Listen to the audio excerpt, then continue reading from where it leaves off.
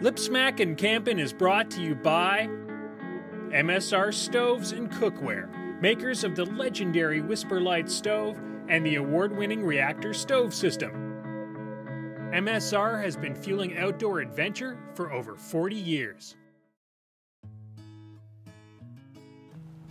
Hi there, I'm Tim Conners. I'm Christine. Welcome to another edition of Lip Smackin' Campin'. Today we're going to be talking about the basics of camp cooking. Now the obvious difference between cooking in camp and in your home kitchen is the fact that you're outdoors and you're away from the kitchen. And that right there is, is challenge enough for most people. But with a bit of a grounding in the basics and a little upfront planning, you too could be a master chef on the trail or while you're car camping. Perhaps the most important rule of thumb is to realize that you don't need to bring your kitchen with you when you're outdoors.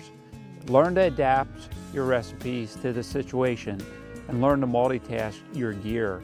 You'll bring less gear with you, you'll have less things to keep track of, you'll have less bulk in your pack and in your car when you learn how to do that. On top of that, recognize that there are different types of trips. Backpacking, car camping, large and small groups, on water, on high ground, short trips, and long trips. And each of those types of trips will dictate the type of menu that you want to prepare.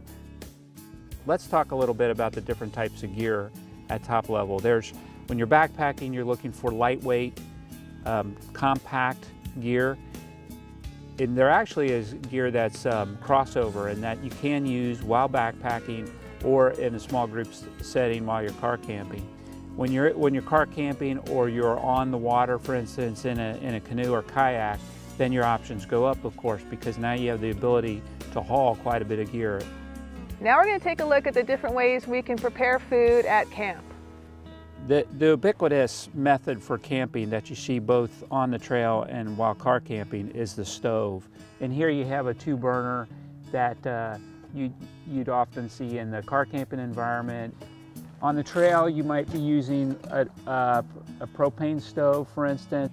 That, this stove has been a favorite of ours over the years. In fact, here I have in my hands the, the two Whisperlites that we brought into our marriage. These, these guys are over 20 years old, and uh, we still have them, and we occasionally use them, so they're, they are a great stove.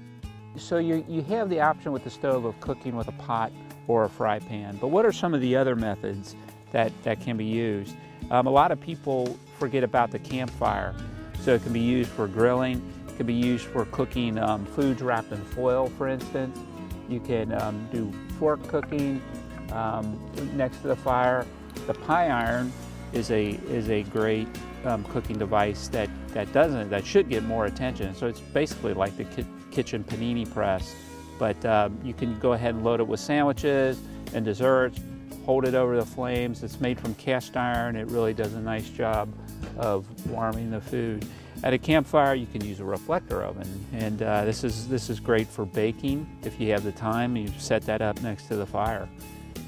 Now we're going to move into cooking techniques that are only appropriate to the car camping environment because of the weight, and that would include the use of Dutch ovens, for instance, very heavy cooking gear.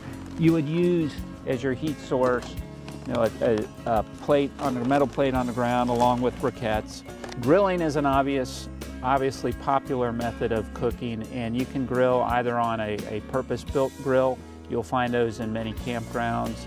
Um, you also can bring along your grill, of course, but you can also use the campfire for grilling if you have a grill grate on the campfire and you can buy your own grill grate and pack it along if your campfire doesn't have that. So that's another method Cooking works great, of course, with meats that we're all familiar with, um, sauteing vegetables. You can even use your, your pan over the fire on a grill grate. And then consider no-cook options as well because that brings a lot of convenience to both the trail and the camp environment um, when it comes to your menu. So we've reviewed just a few of the ways that, that you can cook in camp and on the trail and there's obviously a, a, a very broad number of options available. And remember that planning, practice, and attention to detail, those three will make you a master chef in the outdoors. Thank you for joining us for another episode of Lip Smackin' Campin'. We hope to see you again.